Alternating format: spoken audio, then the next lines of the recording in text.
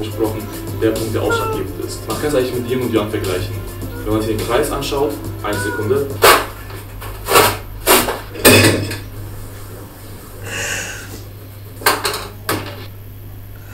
So, dieses Zeichen meinte ich. Wie man hier sehen kann, im Dunkeln gibt es das Helle, im Hell gibt es das Dunkle. Daraus folgt einfach in einem Menschen, der introvertiert ist, gibt es auch was Extrovertiertes.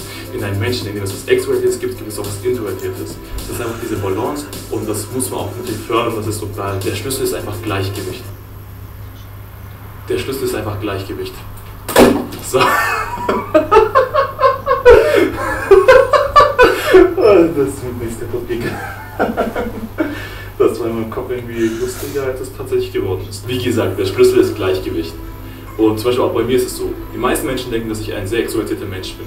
Aber ich habe auch Phasen, wo ich einfach zu Hause bin, zum Beispiel an meinen Videos schneide, meine Fotos bearbeite, Texte schreibe, Gedichte schreibe, alleine mit Kopfhörer auch einfach trainieren gehe oder sowas und einfach auch mal das, das genieße. Obwohl ich auch jemand bin, der in der Gruppe Energie tanken kann, brauche ich auch mal die Zeit für mich selber, wo ich mich sammle, wo ich Entscheidungen für die Zukunft treffe und einfach mich auch mal besinne und auch dauernd Energie tanke. Das sind zwei verschiedene Arten von Energie, über Yin und Yang und du brauchst einfach beide Sorten davon. So, nun sind wir am Ende des Videos angekommen und vielen Dank so. Oh, falsche Seite.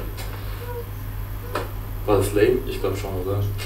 Nochmal. So, wir sind am Ende des Videos angekommen. Schön, dass du bis hierhin geblieben bist. Hier irgendwo werde ich dir hinstellen, dass du kannst. Hier kannst du auf Instagram und auf Snapchat mich besuchen. Wir werden diesen Weg zusammen bestreiten. Vielen Dank dafür und bis zum nächsten Mal. Ganz langsam runter, steil, nach draußen, irgendwie jetzt.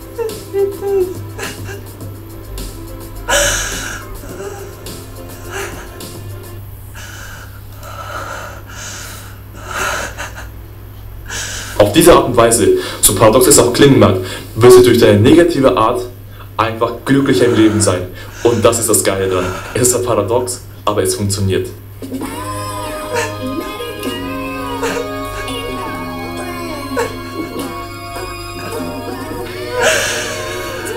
Willkommen zu meinem zweiten Video. Schön, dass du da bist. Heute reden wir darüber, warum Negativität gut für dich ist. Negativität gut für mich? Ja, gut für dich. Das war das Lächerlichste, was ich wahrscheinlich jemals gemacht habe. Aber weiter geht's. Die Frage, die sich auf jeden Fall jetzt stellt, ist, warum brauchst du Negativität? Du brauchst Negativität, weil einfach jeder Mensch Negativität von sich aus schon hat. Weil Negativität ist in dir drin. Du kannst von mir aus der glücklichste Mensch sein, der lustigste, der jemand sein, der die ganze Zeit vor sich hin lacht und alles schön sieht. Aber irgendwo tief in dir drin hast du einen negativen Aspekt. Das kannst du nicht leugnen, weil du bist ein ganz normaler Mensch. Das heißt, wenn du sie nicht akzeptieren willst, dann wird es auch nicht dazu führen, dass du sie irgendwie verarbeiten kannst und sie instrumentalisieren kannst.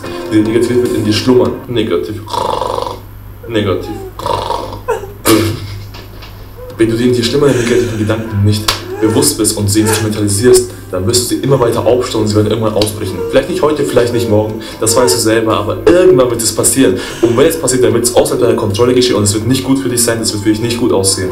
Das heißt, für die lange Sicht ist es für dich besser, wenn du deine Negativität einfach mal bewusst bist und sie benutzt und sie auch auslebst, vielleicht mal, damit du sie auch mal vielleicht genießen kannst sogar. Du musst einfach ein Mensch sein, der die Kontrolle über sich selber hat. Das heißt, wenn du deine Emotionen nicht kontrollierst, dann kontrollieren sie dich. Dazu gehört aber auch, dass du deine negativen Emotionen kontrollieren kannst. Und Kontrolle ist eben nicht, dass du sie verdrängst. Verdrängen ist keine Kontrolle. Verdrängen ist einfach nur eine Maßnahme von dir, dass du quasi alles wegsperrst, was dir ungeheuer ist, damit du keine Angst hast, damit du deinen Alltag ein bisschen leichter gestalten kannst. Aber es geht auf Dauer nie gut, weil du musst manchmal auch den harten Weg nehmen. Dazu gehört auch einfach, wie gesagt, dass du deine negative Emotion mal auslebst. Das Beste ist, wenn du weißt, wann sie auftreten werden, dann hast du die Kontrolle darüber. Aha, da, da. Du bist so im Flow. Das ist so schön. Halt schon, mein Freund. Entweder kontrollierst du deine negativen Emotionen oder sie kontrollieren dich. Es gibt keinen Mittelweg. Was für Folgen ist aber für dich, wenn du deine Negativität auslebst? Was kann es dir Positives bringen, dass du eventuell mal hin und wieder negativ bist? Oder depressiv, melancholisch. Was bringt es dir? Ausgeglichenheit. Du wirst ausgeglichen sein. Das wird dazu führen, dass du einfach als Mensch jemand bist, der nicht unruhig wirkt. Warum? Weil du hast einfach diese Seite dir, in dir drin. Das heißt, wenn du sie nicht auslebst, dann tust du etwas von dir verdrängen, einen Teil von deinem Leben, einen Teil von deinem Charakter einfach wegsperren. Und sein Mensch kann nicht ausgeglichen sein. Du bist wie eine Waage. Und wenn du nur den positiven Aspekt lässt und den negativen Aspekt gar nicht mehr zutage kommen lässt, die ganze Zeit ist unten schlummert, dann wird es nicht gleichwertig sein. Das wird einfach dann so sein oder so sein. Aber es ist nicht gut für dich. Du bist ein Mensch, das heißt, du musst so sein. Nicht zu depressiv, nicht zu glücklich, so, damit du stabil bist und langfristig glücklich sein kannst. So, jetzt bist du ausgeglichen. Wozu führt das? Das führt dazu, dass du auch authentisch bist automatisch. Warum? Weil ein Mensch, der nicht im Reinen mit sich selber ist, der kann auch nicht authentisch sein. Weil wenn du nicht selber weißt, wer du bist, wo du stehst, was du bist einfach, der kann nicht den anderen Menschen vermitteln, was er ist. Als Folge dessen wirst du einfach auch präsenter werden. Weil Präsenz kommt daraus, dass du einfach als Mensch jemand bist, der weiß, wo er steht, was seine Schwächen sind, was seine Stärken sind. Und wenn du all das hast, dann bist du im Moment, dann kannst du machen, was du willst, aber du bist immer on point, weil du einfach weißt, wo deine Grenzen sind, was du bist, wer du bist, wohin du gehst. Und vielleicht sogar das Beste darin, und das habe ich eigentlich schon jetzt indirekt öfter mal gesagt, ist einfach nur, dass du dich selber besser kennenlernst. Und das ist eine der wichtigsten Sachen, die man haben kann in seinem Leben. Wenn du nicht weißt, wer du bist, dann, was bist du, wer du denkst? Es wird eine der schönsten Nebenwirkungen überhaupt haben, wenn du anfängst, deine negative Seite, deine depressive, deine melancholische, deine traurige Seite auszuleben. Und das ist die Inspiration. Wenn du nur dich auf das Positive beschränkst, dann wirst du niemals so eine vielfältige Kunst entwickeln, wie du es könntest. Die negativen Emotionen sind einfach eine der Schlüsselkomponenten dazu, dass du kreativ bist, dass du Inspiration schaffst.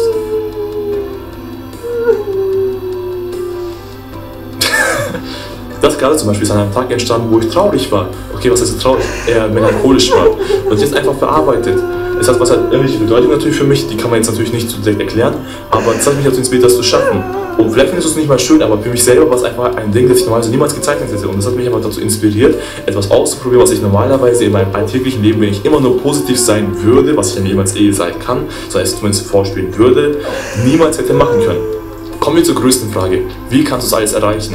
Wie schaffst du es, dass du deine traurige, deine melancholische Seite hin und wieder mal auslebst, kontrolliert, damit du dein Leben bereichern kannst und nicht dadurch in die negative Schiene rutscht und depressiv wirst, sondern es eher dazu benutzt, dass du ein schönes Leben hast? Die Antwort ist eigentlich einfacher, als man denken würde und ist auch leichter gesagt als getan. Du musst einfach deine Stimmung spüren und deinen eigenen Körper auf ihn hören.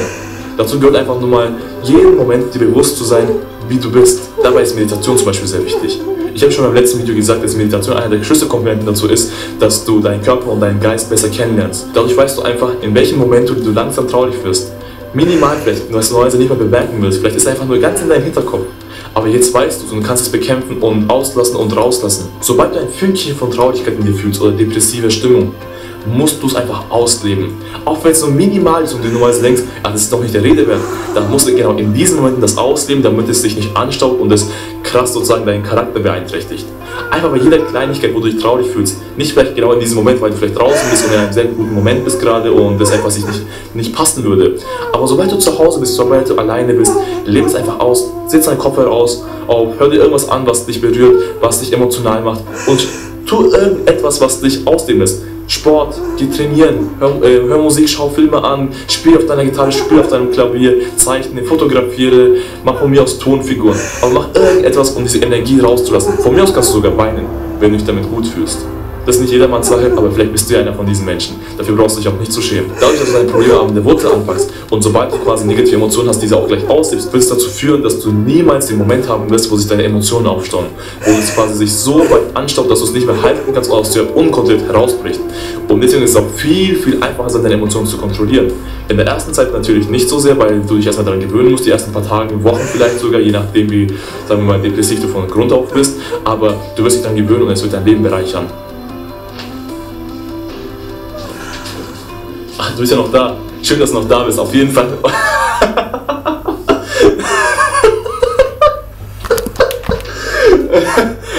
das war lame as fuck. Und schon sind wir am Ende des zweiten Videos angekommen. Jetzt haben wir darüber geredet, wie negative Emotionen dich beeinflussen können und wie du sie wieder beeinflussen kannst, vor allem damit du ein schönes Leben hast. Wenn dir das Video gefallen hat, wie beim letzten Video schon, teile es, kommentiere es, tu es äh, weiterempfehlen an Leute, die vielleicht Probleme haben, dass sie negativ sind. Wie gesagt, mir macht es ja unglaublich Spaß und Dankeschön für euer Zuhören. Oh, das ist toll. Man sieht sich. Oh, ich danke dir. Oh, ist mein Bruder. Ich habe immer noch nicht Ja, gesagt, hier irgendwo Ich brauche nicht. Ich mach das jetzt. So. Ich muss jetzt, ich muss jetzt Stopp drücken.